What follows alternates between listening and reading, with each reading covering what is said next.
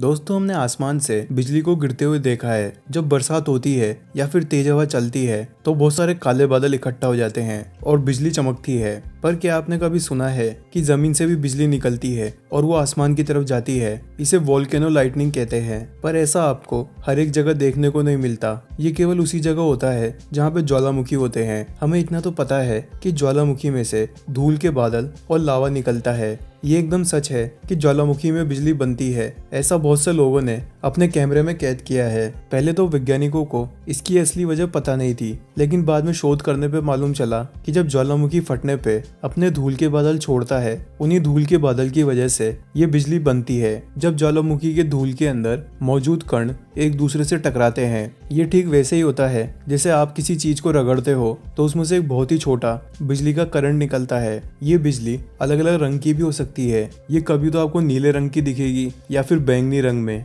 ज्वालामुखी के अंदर ये बिजली दो जगहों पे बनती है। पहले तो ये बिजली ज़मीन पे बनती है, जिस टाइम ज्वालामुखी फटता है, ज्वालामुखी के ठीक ऊपर ये बिजली अलग अलग रंगों में दिखती है और दूसरी तरह से ये बिजली बनती है जब ज्वालामुखी की धूल आसमान में पहुँचती है, जैसे ये धूल ऊपर जाती है, ये ठंडी होती जाती है, और जब ये धूल पानी से मिलती है तो ये बर्फ़ के कण बना लेती है। बर्फ़ के कण जब आपस में टकराते हैं तो इनसे बिजली पैदा होती है। ये तरीका वैसे ही काम करता है, जैसे कि हम साधारण बादलों में देखते हैं। बस इन दोनों में फ़र्क ये होता है कि ज्वालामुखी वाली बिजली हमें ज़मीन से आसमान में जाते हुए दिखती है, और साधारण बादलों वाली बिजली हमें आसमान से ज़मीन पर गिरती हुई दिखती है।